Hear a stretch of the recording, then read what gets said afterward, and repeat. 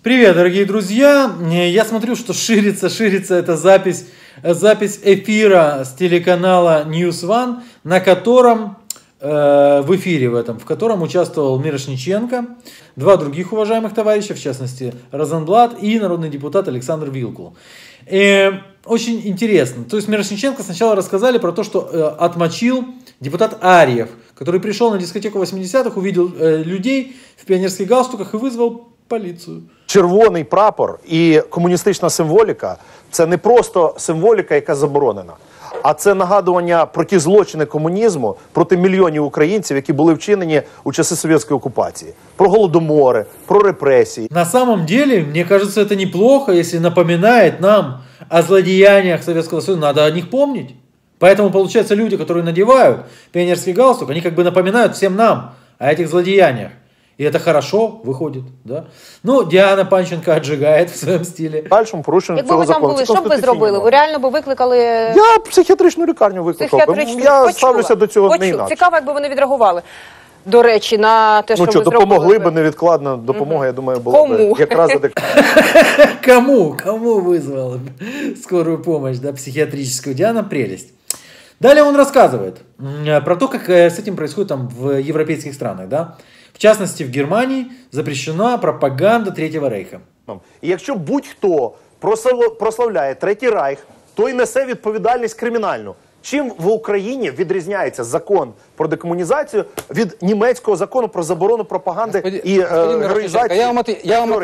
Чем отличается украинский закон про за- запрет пропаганды нацистской, там есть еще нацистская, и советской символики от э, немецкого закона? Наверное, тем, что за пропаганду э, э, советской символики люди получают э, сроки условные, там, а кто-то сидит, да, а за пропаганду нацистской символики я в Украине не помню ни одного приговора. Вот, наверное, этим отличается. Если мне кто-то хочет сказать, что нет пропаганды нацистской символики, пожалуйста, в столице Украины, в ночном клубе Бинго происходит целое собрание людей со свастиками, которые зигуют с флагами, со свастиками, ну просто трэш. И кому интересно, погуглите. Я вам отвечу, чем он отличается. Смотрите, я не хочу Там радикализировать. також еще раз. люди деякі Я- кажуть, що це наша історія. Я считаю- що Гітлер це добре. Знаєте, ну хто ж є ж такі люди? Знаєте, я Але ви считаю- знаєте, що з неонацистами відбувається. Я считаю, что все политики Конечно, я знаю, что происходит с неонацистами в Германии. Их садят в тюрьму. А в Украине, насколько, э, что с ними происходит? Их награждает президент или что с ними происходит? должны высказываться максимально аккуратно и не пытаться Абсолютно. радикализировать общество. Згоден з вами. Я не хочу вам говорить ничего про СС Галичину, которую вы прославляете и так далее. Давайте не будем об Чому этом. ми можемо подискутувати, Давайте- якщо у вас є глибокі пізнання на історичну тематику? Фу. То есть, если ты хочешь подискутировать на тему СС Галичина, у тебя должны быть глубокие исторические познания. Ну, если ты хочешь подискутировать на, э, на тему пионерского галстука, то а, обойдемся без познаний. Але хочу просто зазначити, що не- нещодавно, от відповідь вам, е, завдяки йому і колегам, Ми все ж таки отримали в ПАРЕ перемогу Та і не допустили. тут? Це до нашої теми. Я не стосується, я кажу, що з доброго зробив Панарій. У нього є дійсно е, якби такі вагомі внески е, в історію України. Розенблат, лучше помолчи. Вот лучше, это он про Арьева. Перемогу в паре. Лучше молчи. Ну, послушай, за умного сойдешь, серьезно. Помалкивай. Давайте дійсно е, вважати свою історію і поважати її. Ви за е, закон про декомунізацію Я голосували? за те, щоб я голосував. Голосували? Я за А те, що щоб ж ви сьогодні зараз самі собі послухайте. Я не суперечу. Мало один раз сесть в лужу, надо сесть в лужу повторно. Давайте уважать свое, свое прошлое, но я голосовал. Да какого же ляда ты голосовал на самом деле? Ну и дальше он выдает просто... собі. Я теж за те, щоб сьогодні ті часи, які привели Україну до голодомору, я підтримую пана Ігоря в тому питанні, привели до ГУЛАГу. Ви згадуєте мости, я пам'ятаю, але давайте згадаємо, хто їх будував. Яким чином вони будувалися? Скільки там крові, скільки ця там влада не побудувала Послухайте, жодного я мосту, ну не треба так жодного. казати. Сколько крови потрачено на мост Патона в Киеве? Вот мне просто... Я не знаю, какие он мосты имеет в виду. Может, мосты между людьми какие-то? Ну, сколько потрачено крови на мост, Московский мост в Киеве? Сколько там полегло, а? Пусть расскажет. Розенблат. Ну а який Слухайте, міст Не побудував? треба казати. Ви знаєте, от я Який будівельник. міст побудувався в Послухайте, Україні? я будівельник за фахом. Ви спитаєте мене, що ж ти побудував? А я кажу, ви знаєте, при я злочині. багато При злочинній побудував. владі міст Кірпит. Я Послухайте, будував. да- Давайте от Ні, ну, про послухайте, я нинішню скажу ще владу. раз. Нинішня влада упродовж 27 років це нащадки партійної номенклатури. Розенблат так и не рассказал, что построено за годы, за вот годы правления этой Верховной Рады, как я понимаю, Диана задала вопрос. Но мне понравилось то, что сказал Мирошниченко. Мол, все эти вот, которые сейчас у власти, это коммуняки. И Мирошниченко правильно все говорит. Но вот я вспоминаю, как я вывел на чистую воду в 2000, дай бог памяти, 2013 году э, госпожу Фарион. Помните такую? Ирина Фарион. Я выяснил, что эта ненавистница Советского Союза была членом КПСС. Была членом КПСС тогда, когда это было не обязательно. То есть эта мразь хотела вступить, вступила, топила, а потом перекрасилась и думала, что это никогда не всплывет. И я вспоминаю, как к этой информации отнесся господин Мирошниченко. Депутат от ВО «Свобода» Игорь Мирошниченко также выступил в защиту коллеги по фракции, назвав обнародованные документы высосанными из пальца. То есть я обнародовал документы, он назвал высосанными из пальца. Ирина Фарион – это человек, который, как и все члены ВО «Свобода», применит люстрацию ко всем, кто уничтожал украинскую нацию, репрессировал, садил невиновных людей в тюрьмы и делал все, чтобы украинского государства не существовало. Вот так вот. И сказал, что был комсомольцем. Нет, дядя, комсомольцем и в КПСС это две разные вещи. Ну вот, а здесь... А Андрей Ильенко вообще сказал, извините, я не комментирую бред и черный пиар. До свидания. Впоследствии были вынуждены признать, что это правда, что я опубликовал настоящие документы, что моя информация была правдива. Но, э, как бы, тут же знаете как, про своих он ничего плохого не скажет. Почему ж ты не выйдешь, не дашь порылу Фарионше и не скажешь, что пошла прочь отсюда, отойди от нас, не позорь нас, коммуняка. Звичайно, Тому так. це ті самі комуністи, Чим які вони перефарбувалися. відрізняються? Э, ну, это он, наверное, про Фарион как раз таки, да? Поясніть, от все ж таки, от приміром, вистава Вишневий сад українською мовою. Ну ви реально думаєте, що це доцільно?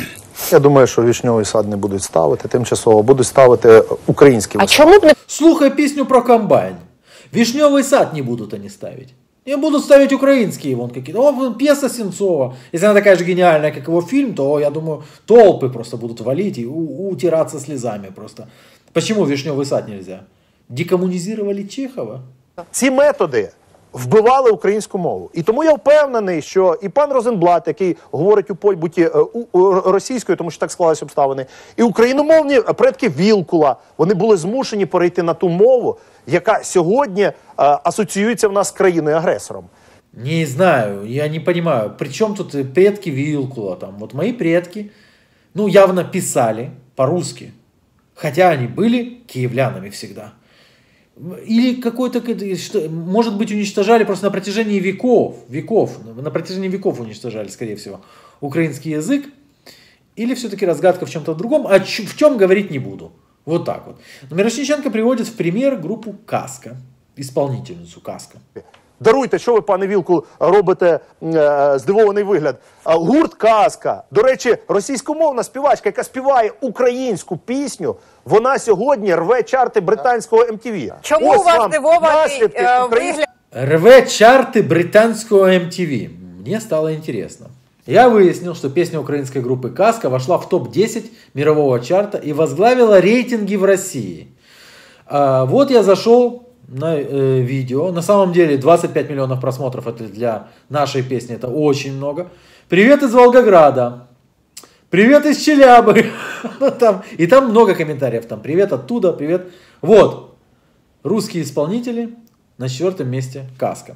Ну, то есть, э, песня прекрасная. Я думаю, я не слышал. Но э, в России рулит. В Казахстане рулит. В Кыргызстане рулит.